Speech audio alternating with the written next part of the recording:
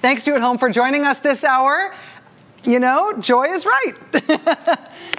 this is one of those days. Sometimes, you know, some nights, everything just happens all at once. And when that happens, it's easy to get overwhelmed. It's impossible to absorb everything all at once.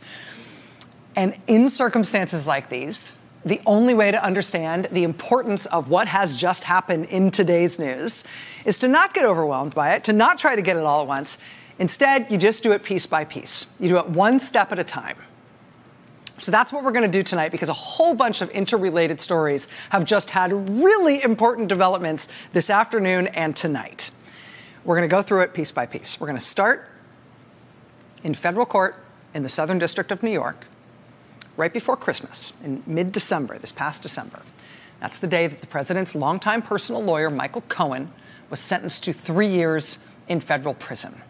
It was a dramatic day. He wept in court, his family wept. Cohen and his defense team and his family all clearly thought he was going to get a much lighter sentence in recognition of his cooperation with prosecutors from the special counsel's office. And for their part, Robert Mueller, the special counsel, and the prosecutors in his office, they did recommend to the judge sentencing Michael Cohen that Cohen should be treated leniently because Cohen had been so helpful to them in his uh, in the special counsel investigation, in Cohen's cooperation with them. But the prosecutors from the special counsel's office were not the only prosecutors involved in the Cohen case. And they were not the only prosecutors making their case to the judge that day. There were also prosecutors from the Southern District of New York. Those were the prosecutors who obtained guilty pleadings from Michael Cohen on a whole bunch of felonies. And those prosecutors from the Southern District of New York told the judge sentencing Michael Cohen that Cohen really should do serious time. And so he's going to do three years. He's about to start that three year prison sentence a month from today. But on the day he was sentenced, back in mid December, that exact same day, within about an hour or so of when we learned that Michael Cohen was going to do that serious time, that same day, we also got, surprise, a whole new thing that we weren't expecting from those prosecutors in the Southern District of New York. That day that Michael Cohen got sentenced, we also got this from the federal prosecutor's office in the Southern District of New York. It is a non prosecution agreement that those prosecutors entered into with an entity called AMI, American Media Incorporated. They're publishers of the supermarket tabloid National Enquirer. And that non prosecution agreement with, AP, with AMI, it was unsealed, it was made available to the public, basically upon Michael Cohen being sentenced for his crimes.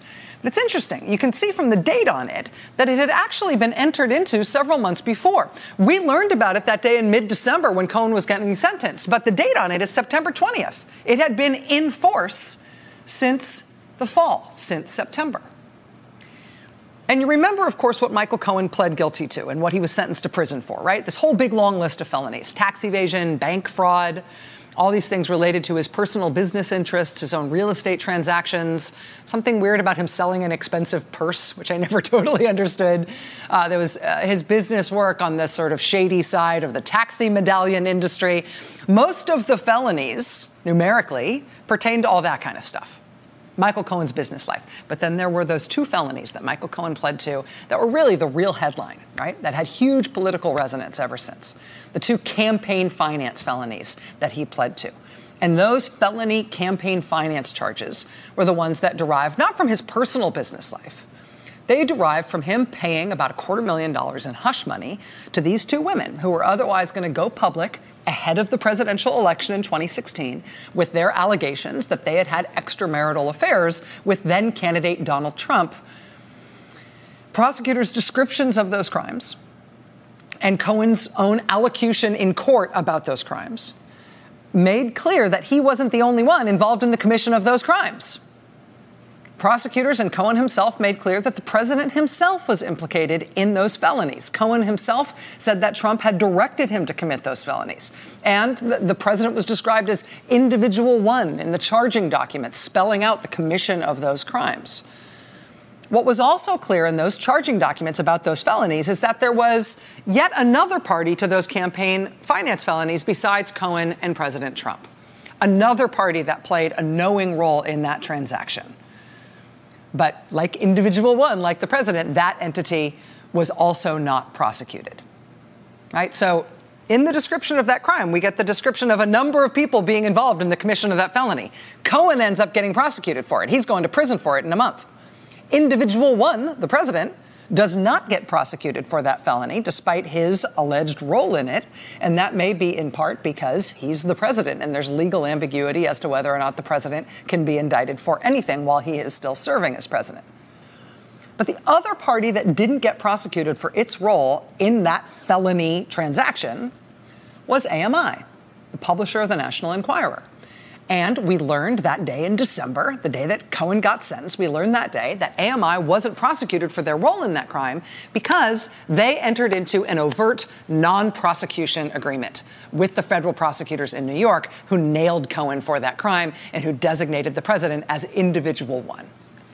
In that non prosecution agreement, prosecutors committed that they wouldn't prosecute AMI for its role in those crimes or for crimes related to those felonies and they would agree not to prosecute AMI, essentially as a reward for AMI cooperating, for AMI helping prosecutors in their inquiries into that matter.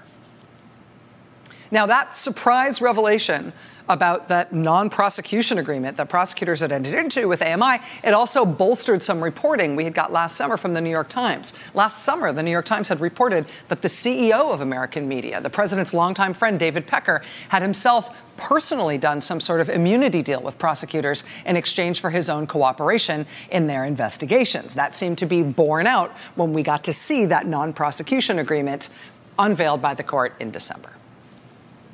Now, as I said, sometimes, uh, like nights like this, sometimes everything happens all at once. So we've got that background, right? We know about, we, we've, we've all absorbed all that stuff about Cohen, that crime, the implication that the president was involved in it, the implication that AMI was involved in it, the fact that AMI had a deal so they wouldn't get prosecuted for it. That all happened before tonight. But tonight, a lot of the things initially raised by that set of circumstances now seem to be coming to a head. First of all, there's the question of the ultimate dispensation of Michael Cohen. He is going to prison in a month. There is ongoing wrangling over whether, over the course of the next month, before he goes to prison, he will testify to Congress. We can surmise that there is something important going on with his case and his role in the larger Russia investigation because of that wrangling because the House Intelligence Committee announced yesterday that Michael Cohen's planned testimony tomorrow is being delayed, quote, in the interests of the investigation. And they won't say what exactly they mean by that, but they did go ahead and reschedule him to testify February 28th. By deduction, we can tell that means they think something's going to happen between now and February 28th, something that needs to be done and out of the way before they take Michael Cohen's testimony at the Intelligence Committee. We don't know what that is, what that thing is. What's going to happen between now and February 28th that'll make it possible for him to testify, but presumably we just have to wait and see tick tock. There is also further evidence today that something else is going on with Michael Cohen and his case and his case's connection to the larger Russia investigation. Because today we got this court ruling from a federal judge in New York. This is a judge who is considering legal action by a bunch of media outlets who have been trying to make public a whole bunch of material related to the Cohen case. These media organizations want search warrants and law enforcement and David, law enforcement affidavits and other materials related to the Michael Cohen case. They want that stuff unsealed and made available to the public, just in the public interest. So this judge today was considering that request from media organizations. And the judge ruled that, in fact, some of the material that has previously been sealed in Cohen's case, it can be unsealed. It will be unsealed. It'll be released to the public and shortly. Namely, what we should expect to be unsealed is the stuff about Cohen's tax fraud and bank fraud and the taxi medallion business stuff and, and, and, other stuff that didn't get the lion's share of attention when Michael Cohen first pled guilty. But when it comes to the really high profile stuff he pled to, when it comes to those felonies that Cohen pled to that purportedly involve the president, that purportedly involve AMI, those hush money payments to benefit the president's campaign, those campaign finance felonies. The judge today said actually those materials can't be unredacted and can't be shown to the public anytime soon because those are still live legal issues that pertain to ongoing investigations. So here's a little bit from the judge's ruling where he just he, he just lays it out bluntly. Quote this court concludes that disclosure of materials with redactions strikes an appro- excuse me. This court concludes that disclosure of materials with redactions strikes an appropriate balance between the strong presumption of public access to search warrant materials and the countervailing interests identified by the government. In particular, the government represents that aspects of its investigation remain ongoing, including those pertaining to or arising from Cohen's campaign finance crimes. Indeed, the search warrant applications and affidavits catalog an assortment of uncharged individuals and detail their involvement in communications and transactions connected to the campaign finance charges to which Cohen pled guilty. According to the government's ex parte submissions, these individuals include those cooperating with the government, those who have provided information to the government, and other subjects of the investigation. At this stage, wholesale disclosure of the materials would reveal the scope and direction of the government's ongoing investigation. It would also unveil subjects of the investigation and the potential conduct under scrutiny. The disclosure of such information may enable uncharged individuals to coordinate or tailor their testimony and interactions with the government. And, the judge says, if the past is any prologue, unmasking those who are cooperating with the government's investigation or who have otherwise provided information to the government could deter further cooperation with the investigation by subjecting those individuals to witness tampering, harassment, or retaliation. Accordingly, the judge says, the portions of the materials related to Cohen's campaign finance crimes shall be redacted. Ruling today from a federal judge. So, Michael Cohen's bank fraud, tax fraud, the expensive purse thing, fine. That can all come out. That'll all come out.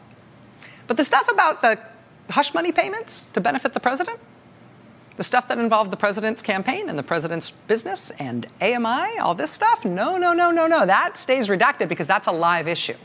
And there are witnesses and subjects of the investigation and cooperators that cannot safely have that stuff disclosed to the public, at least when it comes to the safety and integrity of that ongoing investigation, that live legal issue.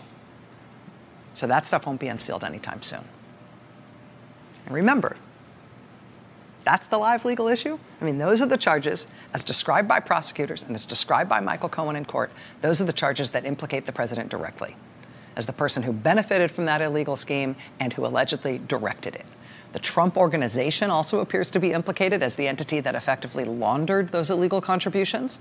And this company, AMI, is also implicated as participating in the hush money scheme. Right? It's their gigantic illegal corporate contribution to the Trump campaign, their help with this hush money plan. And they skated, and they didn't get in trouble for it because they entered into a non prosecution agreement. I mean, remember, AMI's involvement here, as described by prosecutors, is that they effectively, during the campaign, entered into a deal with Donald Trump that they would contribute to his campaign as a corporation. They would help him politically and materially by making adverse stories go away. They would expend resources as a corporation that would never be declared as campaign contributions, but they would nevertheless be expended in order to benefit Trump's campaign and the hopes of his eventual election by paying off or otherwise disappearing material that might hurt Trump's political chances. In the non prosecution agreement that AMI entered into with prosecutors, we learned AMI is told explicitly by prosecutors in the Southern District of New York that they won't be prosecuted for their role in the campaign finance felony scheme that Cohen's going to prison for. They won't be prosecuted for their role in it as long as AMI, quote, truthfully and completely discloses all information with respect to the activities of itself and its officers. Those activities as they pertain to the company itself, its officers, agents, and employees. AMI pledges to cooperate fully with the Southern District of New York and any other law enforcement agency designated by that office. AMI agrees to provide all records. They agree to turn up at all meetings. and it's kind of a throwaway line at the end, but AMI also in that agreement commits for a period of three years to quote, commit no crimes whatsoever Oh, quote, it is understood that should AMI commit any crime subsequent to the date of signing this agreement, or should the government determine that AMI or its representatives have knowingly given false, incomplete, or misleading testimony or information, or should AMI otherwise violate any provision of this agreement, AMI shall therefore, ahem, be subject to prosecution for any federal criminal violation of which this office has knowledge.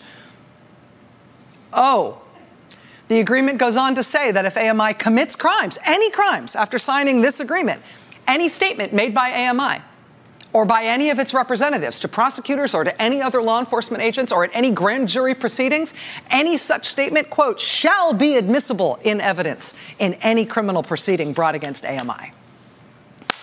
Think about the situation that AMI is in right now. They had to come completely clean with federal prosecutors about their role in those campaign finance felonies during the 2016 election in order to get this non prosecution agreement. I mean, at least one other dude is going to go do serious federal prison time because of his role in that crime.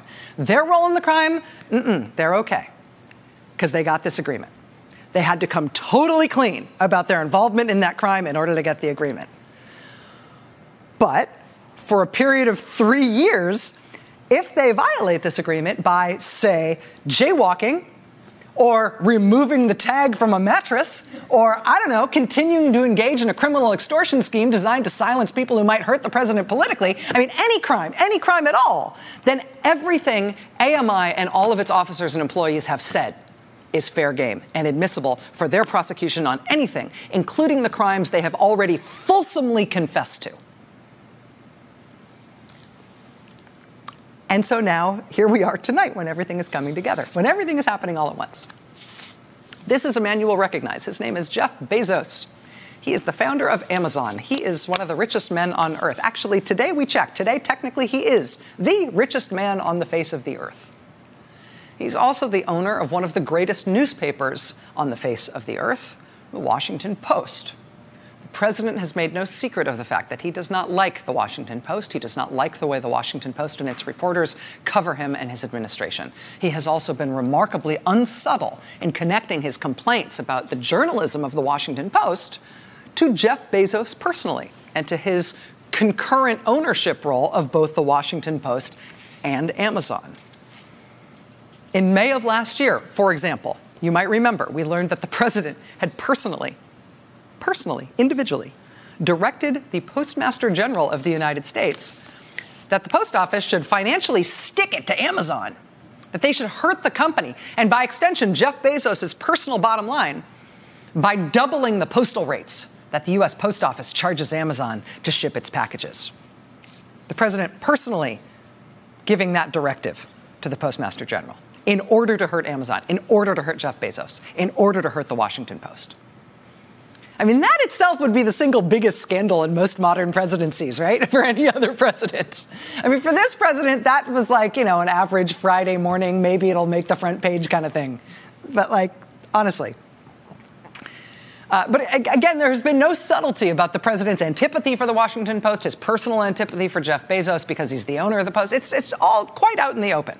Well, last month, the National Enquirer, the flagship publication of AMI, they published private, intimate text messages that were exchanged between Jeff Bezos and a woman with whom he was romantically involved. Mr. Bezos and his wife of 25 years, upon that publication of that story, then announced the dissolution of their marriage and their impending divorce. And the president reacted to all of that with glee. President said publicly, quote, so sorry to hear the news about Jeff bozo being taken down by a competitor whose reporting, I understand, is far more accurate than the reporting in his newspaper, the Amazon Washington Post. Hopefully, the paper will soon be placed in better and more responsible hands. So it's the president delighting in Mr. Bezos' divorce from his wife of 25 years, um, delighting in the role of the National Enquirer and bringing that about, and saying out loud that he should lose the paper. The Washington Post shouldn't be in his hands. Look what the National Enquirer turned up about him. Uh, before long, there were signs that uh, perhaps this story existed on more than one level at once. Uh, a report that Bezos himself had launched a private investigation into what was behind this National Enquirer story, what was behind their publication of his private text messages. Yesterday, the Washington Post had this headline Was tabloid expose of Bezos affair just juicy gossip or a political hit job? If it was a political hit job, one pot- potential implication of that kind would be that it was perhaps carried out by AMI to help President Trump politically, once again, by hurting or trying to take out of the equation somebody who Trump perceives to be doing him political harm. I will tell you there's also a Saudi Arabia component to this with the National Enquirer, which is a related but separate angle. We will get to that in a different part of tonight's show. Um, but now, tonight, this is, this is how this all came together. Uh, Mr. Bezos, Mr. Bezos tonight published this 10 page post online, and it is titled, as you can see, No Thank You, Mr. Pecker. Mr. Pecker, in this case, is not an insult to somebody, it's the name of the CEO of American Media, David Pecker, longtime friend of President Trump. No thank you, Mr. Pecker. In this post tonight, Mr. Bezos publishes what he says uh, is the full, unredacted, recent correspondence he has had with the National Enquirer with Pecker's company, AMI, which he describes as a quote, extortion and blackmail effort. Now, we should note that NBC has not independently reviewed these emails. We're going off what Mr. Bezos has published, but here we go. Quote, rather than capitulate to extortion and blackmail, I have decided to publish exactly what they sent me, despite the personal cost and embarrassment they have threatened. Bezos says, quote, a few weeks ago when intimate text messages from me were published in the National Enquirer, I engaged investigators to learn how those texts were obtained and to determine the motives for the many unusual actions taken by the Enquirer. As it turns out, there are now several independent investigations looking into this matter. Quote, several days ago, an AMI leader advised us, meaning him and his lawyers and this guy who he's hired to lead an investigation for him, several days ago, an AMI leader advised us that Mr. Pecker, David Pecker, the CEO of American Media, is, quote, apoplectic about our investigation. Quote, a few days after hearing about Mr. Pecker's apoplexy, we were approached verbally at first with an offer. They said they had more of my text messages and photos that they would publish if we did not stop our investigation.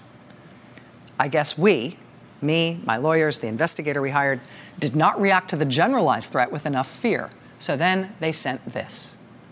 And then Bezos publishes what he says is the full letter that he received this week from AMI, describing in graphic detail 10 different personal and embarrassing photos that the Enquirer has obtained and is threatening to publish in order to hurt Jeff Bezos.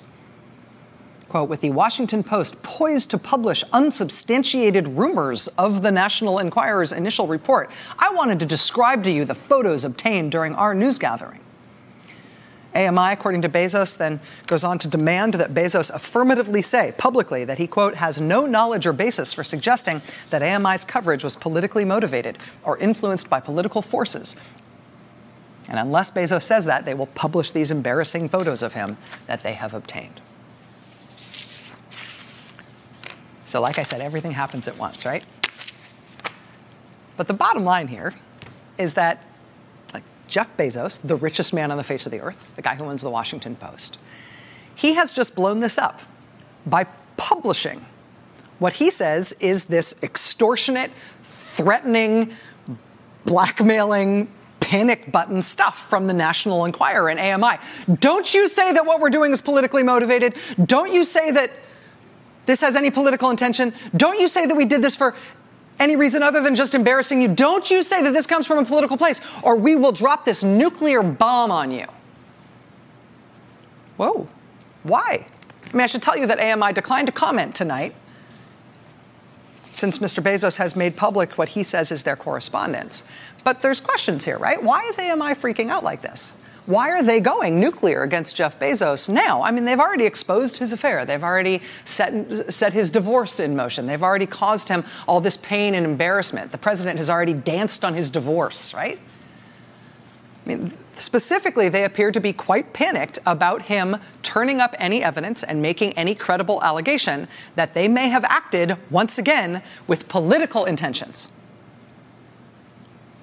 And we know, because we follow the news, that when AMI panics like that about that, we know they're doing so in the context of their still active non prosecution agreement with the Southern District of New York. It is still in force. AMI's obligations under that continue until a period of three years from the signing of that agreement, which would be the fall of 2021.